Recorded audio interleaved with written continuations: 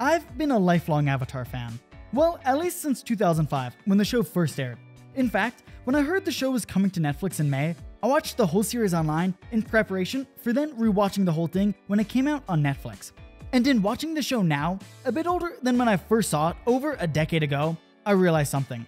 The Fire Nation was destined to rule the world in a way that no other nation could.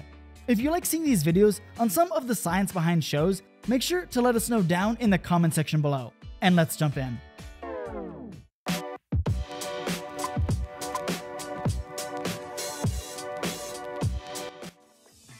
Long ago, the four nations lived together in harmony. Then everything changed when the Fire Nation attacked. There are a few basic reasons why firebenders were destined to rule the world. The most obvious was their technological prowess. Now, if the video game Civilization has taught me anything, it's that technology wins wars. If you don't believe me, or maybe you just don't play enough Civ 6, cavalry charges were still common in World War I.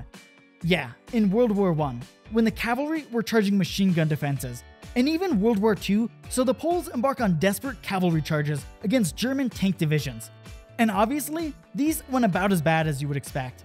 The Fire Nation had by far the most advanced technology of the day, the only nation to support both land, naval, and air forces. But this technological advancement wasn't because the Fire Nation was that much smarter than everyone else. Omashu developed an advanced mail delivery system spread across the second largest city in the Earth Kingdom. The Southern Water Tribe invented complex canal systems to raise ships into the city.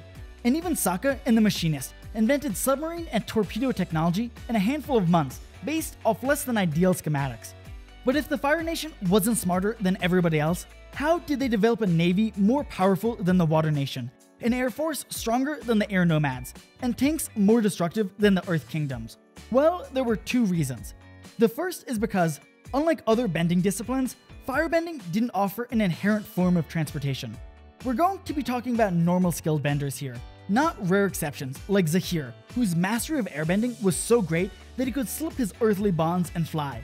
Or especially powerful firebenders like Firelord Ozai and Princess Azula, who could also fly. The air nomads could use their gliders to fly indefinitely throughout the air. Not to mention, they had flying bisons that they could use for longer trips. The Water Tribe, even though they did build simple ships, could traverse the ice and waters of their homeland using their powers, and even earthbenders could sort of skate across the ground. Meanwhile, the average Fire Nation soldier had to walk. This lack of a widespread means of faster than foot speed transportation put a technological pressure on them to make vehicles that would allow them to move faster, as fast as benders of other nations could inherently.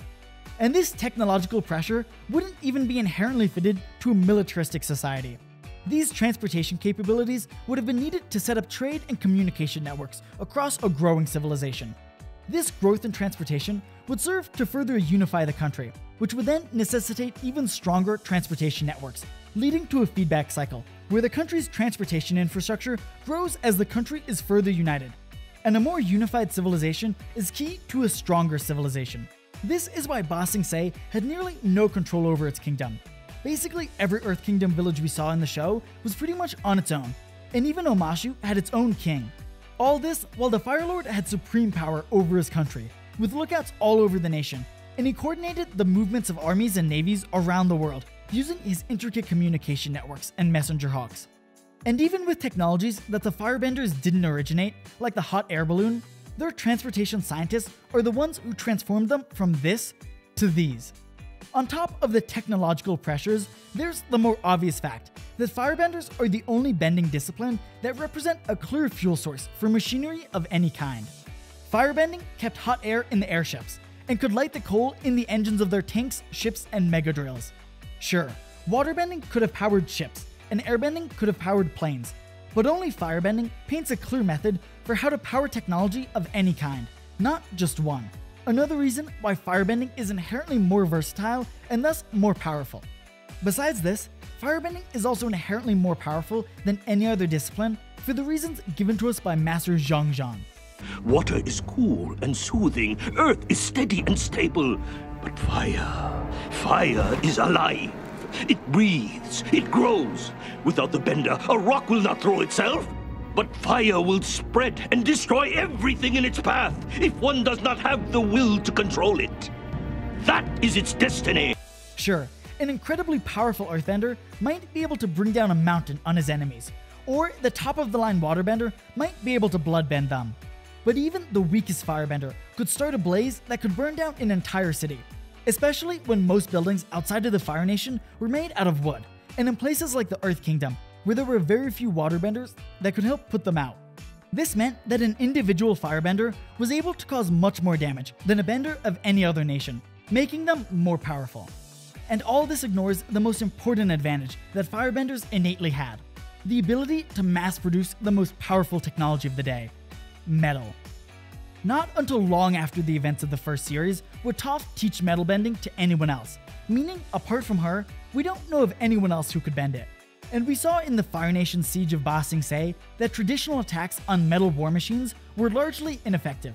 Soldiers, whatever you do, don't stop shooting rocks down there! And just the fact that Fire Nation ships were made from metal made them much stronger and more versatile than any Water Nation ship. Access to metal and the ability to refine it was an invaluable asset for these early empires. We know from the lore that the Earth Kingdom had plenty of metal deposits in the ground that they could mine, and they even boasted metal tanks that were admittedly lower quality than those of the Fire Nation. So, if they had access to metal, why didn't they have armies of metal clad weapons like the Fire Nation? Well, metal needs to be refined, and this is a very temperature intensive process, and firebenders, being able to produce the needed heat on their own, were obviously much better suited to the mass scale production of metal for the war machines. And the advantage metal played cannot be understated. Metal affected everything, even the uniforms. Ever notice that Water Tribe soldiers are basically just wearing cloth armor, and Earth Kingdom soldiers barely do any better, throwing a hat and some nice bracelets on for extra padding? Meanwhile, Fire Nation soldiers wore metal armor that served as a much stronger defense against the other elements. As a result of their inherent metallurgical capabilities, the Fire Nation was essentially in the Iron Age, while the rest of the world was in the Stone Age. Having this more advanced metal technology is what allowed civilizations like the Roman Empire to expand their borders, and Caesar wasn't even a flying firebender. This is why the Fire Nation boasted advanced technologies, like the drill that they used to break through the outer wall of Ba Sing Se, while other nations rode around on ostrich horses. This, coupled with the reasons above, made the Fire Nation the strongest nation on the planet, and destined to dominate it. Obviously, besides just the technological and inherent superiority, there were the psyches of the nations at play. The air nomads were peaceful, and didn't even have an army, unless you were taught in a Fire Nation school, I guess. And the Earth King was a puppet, and his puppeteer, Long Feng, appeared not to care much about any sort of counterattack on the Fire Nation, and a similar thing can be said about the Northern Water Tribe. So it is easier to fight a war when almost no one wants to launch counterattacks. And this theory about the importance of controlling metal holds up, because decades later, when Korra becomes the Avatar, metal bending has made access to metal far more ubiquitous. And as a result, you see a much more even balance of power and technological advancements throughout the world. Whereas in Aang's time, our nation is enjoying an unprecedented time of peace and wealth. Our people are happy, and we're so fortunate in so many ways. And without giving too much away, in case you haven't seen Legends of Korra, perhaps the most powerful force on the planet is the one whose mastery of metal bending is the greatest, proving once again how critical metal refining is to power in the Avatar universe. So, yeah, between their bending being inherently more powerful, their abilities to refine metal, and their transportive need to develop advanced technology, the Fire Nation was destined to dominate the planet. Maybe if Aang hadn't gotten in the way, the loving Fire Lord could have spread his nation's prosperity throughout the world. But what do you think of the Firebenders? Or are you more of a Southern Water Tribe sort of person? Be sure to let us know down in the comment section below. And if you want to check out our other videos on some of the science behind popular shows, click here. Have a great day, and remember, there's always more to learn.